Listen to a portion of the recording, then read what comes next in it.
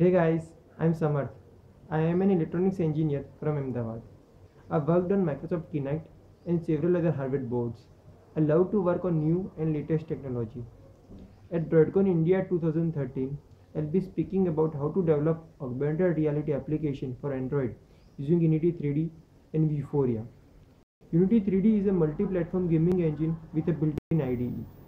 Vuforia is an augmented reality software development kit developed by Qualcomm.